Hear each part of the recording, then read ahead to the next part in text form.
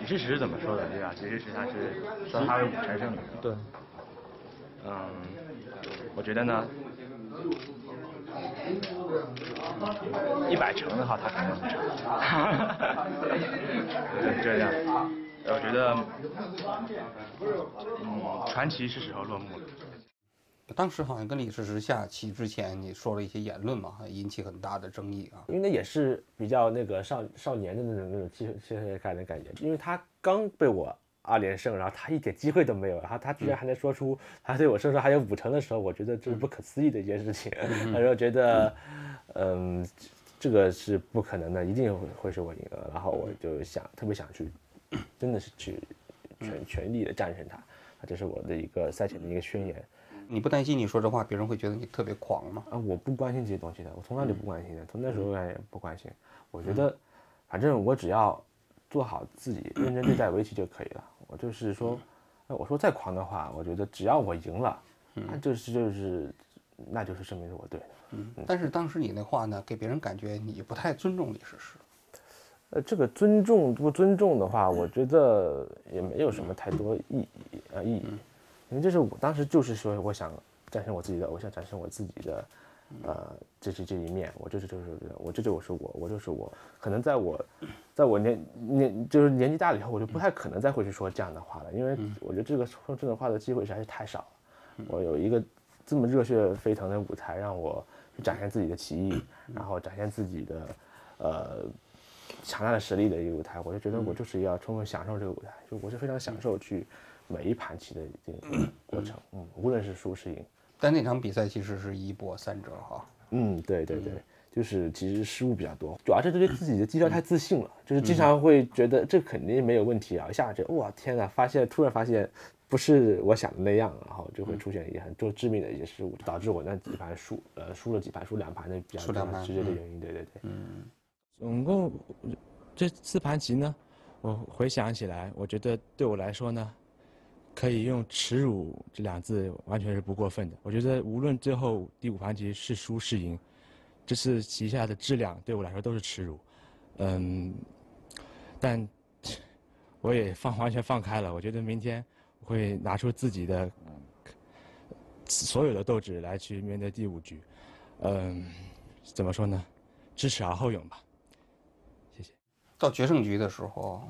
其实那盘棋也赢得很艰难啊。其实赢很多，其实前面非常的顺，盘面十十多目了，就是然后，呃，后 就是一个地方突然打了一个特别大的勺子，然后然后觉得这棋本其实打个勺我还是赢棋，但是我又冷静不下来了。在嘀咕着，稍微有点懊悔。我估计他一定是看到了聂老刚才说的那个挡一个就没棋了。你看现在柯洁的这个痛苦的表情。后来你在接受媒体报道的时候也说过，当时以为自己已经输了。是吧？都，以为自己输了。对，那时候还是挺挺挺真绝望的。那时候我我这棋都能下输，对，大家觉得就是这种想法。哪里点错了两步棋？然后 我现在还没缓过气来。我就是我赢了是吧？对啊，恭喜你，柯洁。嗯，那当时就是你自己以为自己已经输了的时候，那时候时候心里头是什么一种状态呢？就是很痛苦啊，因为我就就是也没有想过其他东西，就觉得自己不应该犯这样的失误。嗯，后来我看那个李世石在接受采访的时候，其实，呃，也也还对你的一些行为有一些微词啊。他说，其实其实没有，就是你摔棋子啊，是吧？那天就是在决胜局比赛的时候啊，就是在很绝望的时候摔棋子。其实后来我也跟他交流。他他也觉得围棋可能需需要，就是说，嗯，有性格的人，就是像他那样，像我这样，他觉得跟我 很像，所以我觉得听到这话，其实我也蛮感动的，就是觉得，嗯，觉得围棋的话还是要丰富多彩一点，嗯，因为很多人就是谦虚惯了，从小那种，嗯，我就觉得这种人性格是没有人讲的，然后觉得很无趣，我也不愿意跟那样的人打交道，我就喜欢跟有趣的人在一起。既然是一个棋手啊。不要有太多的束缚，我我很讨厌就是说很木讷的棋手，就是说，就是说，除了下棋什么都不会那种人，我不太欣赏。真正会有那个辉煌的棋手啊，他是一定是非常有性格的，嗯，无论是从棋方面的，还是做说说是做人方面的，并没有说对李世石这个前辈有一些什么不尊敬啊，并没没有，并没有，我对他一直都是非常尊敬。其实啊，就是说，我是觉得在棋上的话，因为在一旦下起棋来的话，我觉得，呃，这个人呢，就是说他就是一个对手，他是一个棋手，我就想办法战胜他。在棋上对他有回应，对对他战胜他，这是才是对棋手的最大的一个尊敬。那你怎么评价李世石呢？他是一个非常纯粹的、专注的一个围棋，呃，我觉得就是为围棋而生的。那么这样的人的话，其实是嗯嗯围棋界的一个呃有存在是一个游戏界性，因为我小时候把他棋我摆的太多了，就是觉得嗯。他的对就是说对棋的一些呃嗯理解还有专注度啊，这是很大部分棋手是没办法达到的，对，真的是。你内心你觉得你能超越他吗？我内心我希望我能超越，但是这个事情的话，呃，其实一盘一盘下来，因为你有自就算有预期，你想怎么样怎么样，那也做不到也就是空话，对吧？所以说我是那种行动派的，我是要做到了才会啊，才会对这件事情。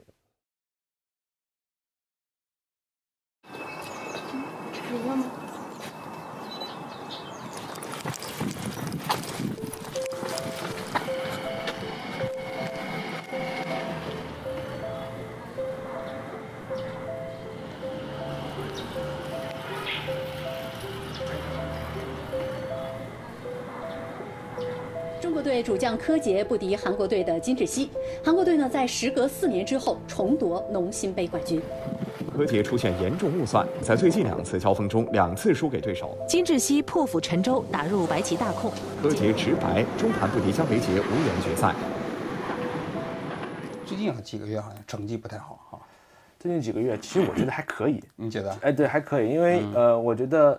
就是上次跟那个农心杯跟金志熙就是输了，有点有点伤，因为那盘我觉得是不可能输输的棋，大家下输了。然后后面的棋其实是我觉得下的还不错，但是等积分呢，好像等级分也掉下来了，就是等级分也没有掉下来，国内还是第一。但是被呃国世界上那个好像世界那个是它是是一个不是官方排名，是一个一个一个野鸡排名，就是说真正的下棋人是不会去关注那个啊。我觉得这只要是拿了世界冠军了，你无论。你无论你这一年怎么输好了，你你你都是最优秀的啊！拿世界冠军太难了，嗯，对，所以嗯，这也是最重要的一个比赛。因为我世界冠军，我世界冠军的比赛春兰杯，春兰杯我赢了，所以这是我觉得，我就让我自己满意就可以了。我只是说我这个月怎么输都可以了，我我全都输了都可以，我只要把那个 春兰杯那盘领下来就可以了，就保下在这里。然后其实呃，很多人会很多媒体可能会说我输给景山裕太，景山裕太，然后金志熙也好，可能会。会就说我就怎么堕落了怎么样？我看了那些很多，我就觉得很好笑，我怎么就堕落了？对，所以就觉得很多言论有些就很很有意思，很有意思啊。对啊，那其实我觉得我只要自己不迷失，就就没什么关系。外界也对你有一些批评啊，啊，有一种批评就是说你现在棋的后半盘的那种胜负感啊有下降。就比如说你在跟金正熙那种比赛，就是啊明明明是非常优势的棋，但是呢，反而却。不断的犯错误，就是说可能呃，你你觉得这种批评有没有道理？后半盘的话，可能，嗯，可能，可能也不知道，反正就是，呃，怎么说呢？就就其实现在大家计算力都都很强，嗯嗯，然后我的优势其实并没有想象中那么大。那你现在你觉得最近一段时间成绩不好，对你来说是你职业生涯的一个瓶颈期吗？没有不好啊。就是说成绩没有两年前那么那么那么好嘛？那主要是两年前太好了，我觉得这是一个调整期。怎么说呢？因为大家对 AI 的吸收理解，我觉得太太太丰富了，就是说太那个太多了。怎么在这个大家都在研究 AI 的时候脱颖而出呢？这是我新的话新的一个一个感挑战吧。这是我觉得这是从零开始吧。就是从零开始就是这样的。如果是从零开始的话，我这个战绩还是还是还可以了。就是说，但你说说一定要跟我两年前比，啊，可能是有有有一定差距。但是现在的话，说说实在的，赢盘棋不好赢，这是这是我自己觉得一个真的不好赢。大家都很那个，对，也就很。但是你毕竟不是重新开始啊，因为你是已经。五个世界冠军在手了，而且也是中国现在围棋界的排名第一的人。重新开始是吧？重新开始，重新开始学围棋，就是对棋的理解完全就是颠覆那种感觉。然后还是还是要认真努力，重新开始学棋。就是说，呃，而且这个这个学的方向又是很模糊的，大家也不知道该怎么学。嗯啊，这也是从零开始。嗯嗯，其实两年前你，呃。拿到两个世界冠军的时候啊，实际上中国企业对你的期望很高啊，包括我们这些爱好者啊，其实也都觉得，呃，这可能是这是藏好鼓励这个以后可能是最有天分的一个棋手了啊，也最有希望能成为具有统治力的棋手啊。嗯但是这两年，嗯，就感觉包括于斌也说过，就是你在跟其他棋手下棋的时候，那种统治力，嗯，其实还没有达到当年李世石啊、李昌镐啊那个时代那个程度。我觉得，嗯，因为现在职业职业手职业手比原原来多好几倍了啊。其实你职业手人才那么多，那么又又有 AI 的出现，大家又大幅度拉近，很难有一个绝对的统治者在这里。这这是我说实话，很难做到。真正像李世李昌镐的时代，我是觉得他们的对手是有些有些是过于弱了，就是过于太过于弱，就是说，嗯，他们对棋的理解都完全都没有到达那，就是说 普通棋手的现在的普通棋手的那个高度。我觉得。这个是一个我没有办法时代时代的 一个一个一个，因为大家都会 AI 的招了，那你怎么办？你就只能因为布局前五十手大家差差不多，像以以前的话，前五十手很多超一流和那个普通棋手都已经拉开很大的差距了。嗯嗯，那你输输到老了点去，那个还不还不知道呢。然后所以现在的话就很难出现那种绝对统治的人，我自己认为觉得很难统治。那当然我也会往这方向努力，对他更多的世界观军。你是觉得这个时代已经很难再出现像李昌镐和李世石那样的棋手了？就是说绝对统治的，就是绝对统治的是很难的，很难了。嗯嗯，那这是时代的特性，嗯，这个是 AI 的时代。嗯。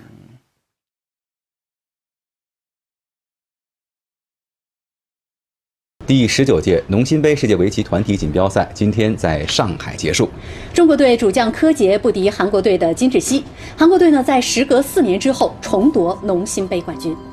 比赛之前，你当时发了一条微博，嗯，说各位辛苦了，剩下的事情交给我吧，对对对。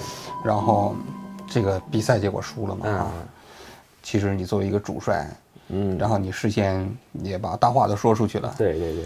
结果比赛又输了，嗯，你当时有没有觉得，就是自己没有这种东西呢？就是说，你既然已经放出了话出去了，你就要做好输的准备，嗯哼，因为你一般立这种。立这种话，是吧，这话呢，就基本没什么好下场啊。结果，对对对对，之前的话，我是比较幸运，可能一直都是把这个放放说说的话还是赢了啊。对对对对对对，啊，那这个的话就是呃，可能是我也必须要去去，所以说话都说出去的，还怕还怕别人说你什么吗？还别人骂你什么吗？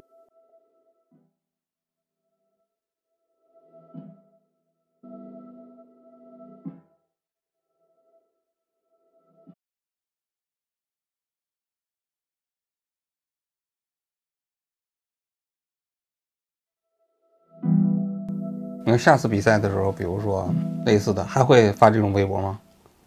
我有信心的时候还是会发。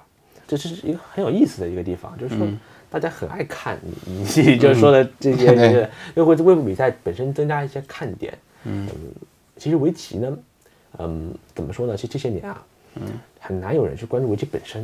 嗯嗯，而是大家，但关注围棋本身的人，就是一些老棋迷。嗯，就是为了怎么吸引去新的棋迷，我觉得需要一些很有棱角的人。我觉得，呃，你就有有棱角，然后有一些自己独特性格在里面啊，对围棋也好，对你自己也好，都不是，都都是一些好事。后来我看那帖子你也没删啊？不删，我不会删的。就在之前那些你觉得我都不太好的，我都不会删，因为我觉得这是我的一个很宝贵的经历。我觉得删掉这些东西没不好。哎，我我就算输了又怎么？我失败没觉得就是说打脸了吗？打脸就打脸嘛，那打脸下次想办法再赢回来。嗯，那底下很多人评论的时候说的其实不太好听 没有啊，我没没看，我其实没有看这个东西。嗯，就当我看我笑话好了，我觉得也没有关系啊。就就是这是我呃我当时的一个当时的一个态度。现在看我吧，就就是我我我来结束这场战斗。嗯，我觉得。都现在想想都还是很，很慷慨激昂的那种感觉。我需要的，我需要那种热血的那种感觉。但是这个职业比赛很残酷啊，就是都是靠成绩说话。你这个说大话的时候，大家都是你最后成绩如果要是真赢下来了，觉得你了不起，是英雄，是吧？嗯嗯。如果你要没赢下来，那我觉得你其实当时那可能就是狂妄啊。嗯嗯。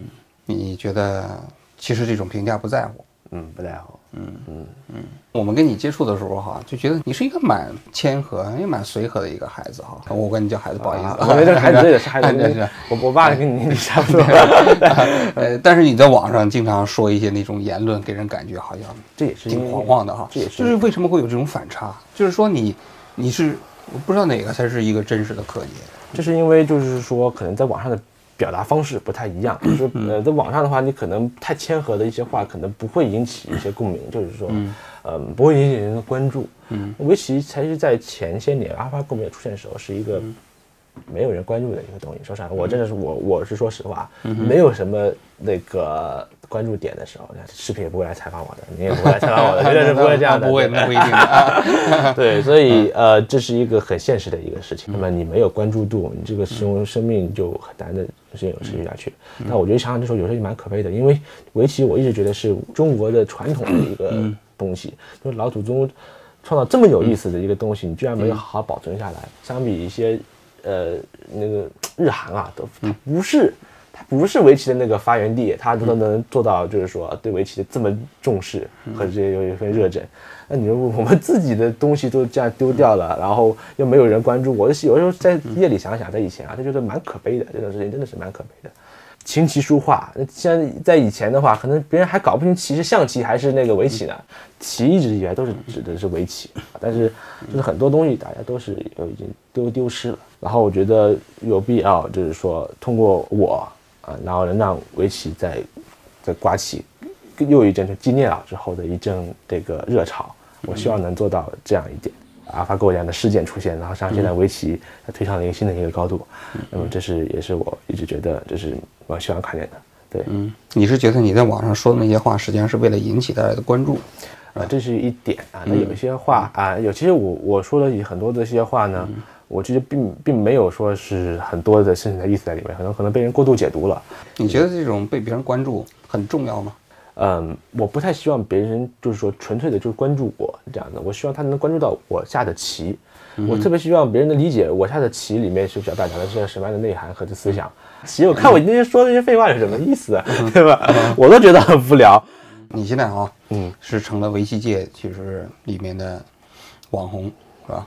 最知名的一个，跟其他的比起来，那除了你的成绩以外，跟你在网上这种言行有关吗？你觉得？说实在的，可能还是有点关系。但是我觉得我的成如果没有成绩的话，说这些人也不会有说这些话，也不会有人来关注你的。对，就一定要以成绩作为基础啊。嗯，但光有成绩也不行，是吧？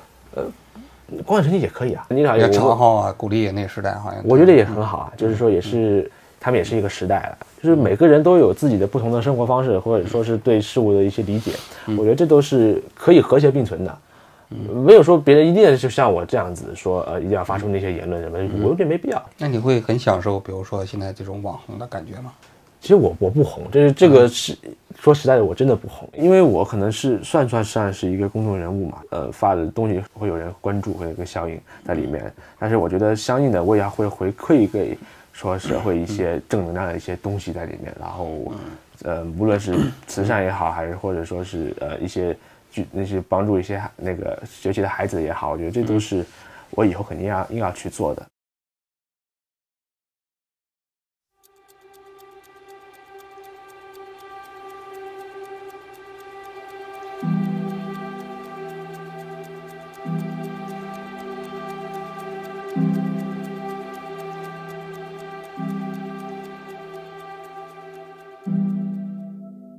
在比赛之前嘛，还发了一个微博嘛，嗯就说就是你可能是跟哎跟人工智能下的最后三盘棋，对但是还是要把它坚持下完。，对对，呃，当时很多网友也意识到了，就是说你这段话其实跟你一年前当时那话比起来就已经差别很大了。对是吧？对，因为我觉得这是一场可能已经不了的比赛，就是一个非常绝望的一个。就你当时你已经意识到了，对意识到是非常绝望的一个比赛，但是我觉得我既然是一个棋手，那么就是我无论如何也要下这场下完这场比赛，嗯嗯，然后我也尽全力，因为真的这实力上是有一个巨大的一个鸿沟的，所以嗯，就尽力就好了。王思聪当时还在网上说，说你一年前那狂妄劲儿哪儿去了，对，是吧？对，呃我觉得这是站在每个人立场不同，我也能理解，就是说这样的，但是，呃，也别人也得理解我的一些立场，因为那以在以前的话，我是真的非常渴望能够战胜的，但是到后面，因为他已经六十连胜那样子恐怖的战绩证明他自己，我实在是没有办法在他满怀信心说出我能战胜他这样的话了。嗯，真的是实在是认识到实力的差距以后，嗯，就是更加的得得就是尊敬，因为我们只认强者。嗯，毛思聪的意思就是说，你可能当时狂的时候，可能没有想到后面还有今天，对，是吧？哎，就是这也是很多呃可能呃不太了解围棋的人这样的说法吧。我觉得什么样的意见，我觉得我都是可以接受的。别人有一句什么的话就可以把你击倒的话，你你也不配成为这个领军人物或者公众人物了，对吧？啊，你也不是配成为棋手。那你认为你一年前当时说啊，阿法狗能赢李世石，但赢不了我那个话？说的是不是有点轻率呢？没有，我觉得这是我的一个年轻的一个表现。我觉得我还蛮欣赏我那时候敢敢敢说敢做的那种感觉的，因为因为我这两年也沉淀了下来，所以很难再说出就是说那么率真的一些话了。就是非常强烈的信念，就是要去战胜谁谁谁，好像要要要要要击败谁谁谁，就并不觉得那个时候那种做法有什么，并不觉得。对，我觉得那时候我自己还蛮可爱的。对 对。现在有女朋友吗？问点八卦问题。这个也也也也希望有吧，就是说，但确实是遇不到有合适的，对，所以就等着吧。这这也是因为别人委托我说一定要问这个问题，因为喜欢你的女孩子很多，所以他们大家都很关心，就是你到底是喜欢什么样的？呃，如果如果如果他很优秀，就来找我吧，是吧？啊，就 就是没什么没什么，就是其实就我不排斥这个，就是也也也希望有一个懂我的人吧。会在围棋圈子里头找女朋友吗？还是说会？好八卦呀！我我其实嗯，并没有太刻意说就是是怎么样怎么样。我觉得嗯，随缘吧。对，对，可能自己就是平时时间本身也不多，没有什么时间去考虑这些东西。嗯，现在其实也不小了哈，就是说这个年纪，其实谈女朋友也很正常。那你没有谈是因为？我不知道啊，就是就是没有啊，就是没有。对啊，那不那不可能没有人喜欢你嘛？啊，那是，就是说，那嗯，这种东西不能用用那种是论证，可是说不出来的。我是，只只能说等等等一个合适的人吧，还是得得等吧。你你希望他是一个什么样的人？希望我也不知道，就就就反正嗯。比就是比较善良善良就行，感觉这话好像所有人都都说。呃，就就呃，就就比较懂得他人感受的吧。我觉得这种对对对对对，嗯，就是比较能识大局那种就行了。主要是性格比较重要。你说性格是指是哪？要比较比较温柔，比较温顺，也也也也也不是，就是说也就能能照顾他的人的感受就行了。我觉得就是说性格上比较好说话。